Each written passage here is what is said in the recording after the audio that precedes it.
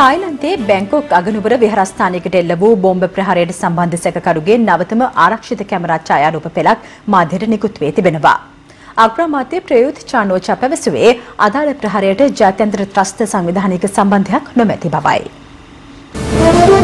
ලොව වටා හිරු බැංකොක් අගනුවර විහාරස්ථානයට එල්ල කළ බෝම්බ ප්‍රහාරය වසරකට ආසන්න කාලයක සිට සැලසුම් කර තිබූ බව තායිලන්ත පොලිසිය පවසනවා. එරවාන් විහාරස්ථානයේ පීජ ප්‍රදේශයේ තිබූ ආරක්ෂිත කැමරාවල සටහන්ව තිබූ දත්තවලට අනුව පැවැත් වූ පරීක්ෂණ කටයුතුවලදී තවත් සැකකරුවන් තිදෙනෙකු හඳුනා ගැනීමට හැකි වී තිබෙනවා. දැනට හෙළි වී ඇත්තේ ප්‍රහාරයට සම්බන්ධ ප්‍රධාන සැකකරු විදේශිකයෙකු බවයි. ඔහු ප්‍රහාරයට පෙර අදාළ ස්ථානයට ත්‍රිරෝද රථයකින් පැමිණෙන අයුරු දැක්වෙන ආරක්ෂිත කැමරාවල සටහන් වූ දර්ශන ඔස්සේ පොලිසිය මේ වන විට මූලික පරීක්ෂණ ආරම්භ කර තිබෙනවා. එම පුද්ගලයා ක්‍රියා පිළිබඳ නිවැරදි තොරතුරක් ලබා දෙන පුද්ගලයෙකුට ඩොලර් 28000ක ත්‍යාගයක් ලබා දෙන බව තායි බලධාරීන් මීට පෙර ප්‍රකාශ කළා. ප්‍රහාරයෙන් අනතුරුව බැංකොක් අගනුවර ආරක්ෂාව සඳහා දසදහසක අතිරේක ආරක්ෂක බටපිටසක් රැඳවීමටද පොලිසිය කටයුතු කළා. ඉරිදා සවස බැංකොක් අගනුවර එරවාන් විහාරස්ථානයට එල්ල වූ ප්‍රහාරයෙන් 20 දෙනෙකු ජීවිතක්ෂයට පත් වූ අතර ඉන් 11 දෙනෙකු විදේශිකයින්. ප්‍රහාරයෙන් තවත් 100කට අධික පිරිසක් තුවාල ලැබුවා. ඇමරිකාවේ වොෂින්ටන් සහ කැලිෆෝනියා ප්‍රාන්තවල ප්‍රබල ලැබුගින්නක් පැතිර යනවා. මේ හේතුවෙන් අක්කර දහසකට අධික භූමි ප්‍රමාණයක් ගිනිබත් අවසන්. වොෂින්ටනයේ පැතිර යන දැඩි සුළං තත්ත්වය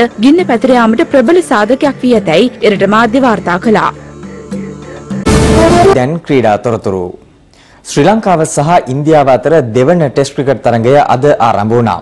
මේ තරඟය පැවැත්වෙන්නේ කොළඹ පීසරා ඕවල් ක්‍රිකට් ක්‍රීඩාංගණයේදී. එතෙක් මෙතෙක් ලොව බිහි වූ විශිෂ්ටතම ක්‍රිකට් ක්‍රීඩකයෙක් වන කුමාර් සංගක්කාරගේ අවසන් ජාත්‍යන්තර තරඟය මේවීම විශේෂත්වයක්.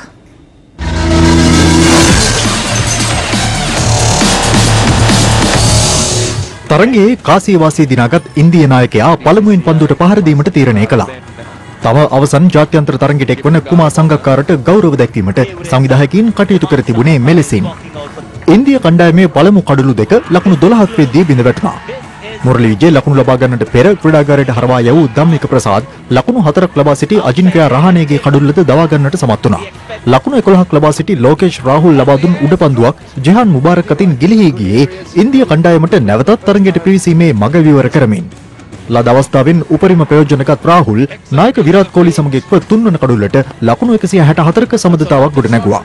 කෝලි ලකුණු 78ක් ලබා ගත්තේ 4 පහර 8ක් සහ 6 පහරක් සමග.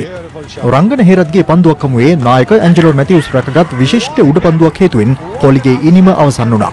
ලෝකේෂ් රාහුල් සිය දෙවන ටෙස්ට් ශතකයේ ලෙසින් රැස් කළ ලකුණු සංඛ්‍යාව 108ක්. ඔහුගේ ඉනිමට 4 පහර 13ක් සහ 6 පහරක් ඇතුළත් වුණා. රාහුල් දෙවි ගියේ දුෂ්මන්ත චමීරගේ පන්දුවකට කඩුළු රකින දිනේෂ් චන්දිමාල් අතට උඩ පන්දුවක් ලබා දෙමින්. ස්ටුවර්ට් බිනී ලකුණු 10යි. අනතුරුව රෝහිත් ශර්මා සමගින් එක්වූ වෘද්ධිමාන් සහ තවත් අර්ධ ශතක සමඳතාවක් ගොඩනගන්නට සමත් වුණා.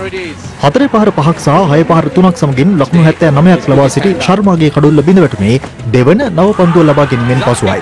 ඒ සමගින් පළමු දිනයට තරගය නතර කරන විට ඉන්දිය කණ්ඩායම පළමු ඉනිම වෙනුවෙන් කඩලු 6ක් ලැබි ලකුණු 319ක් ලබා සිටියා.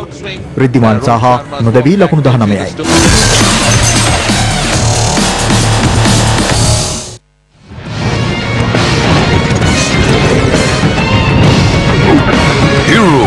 Sports Corner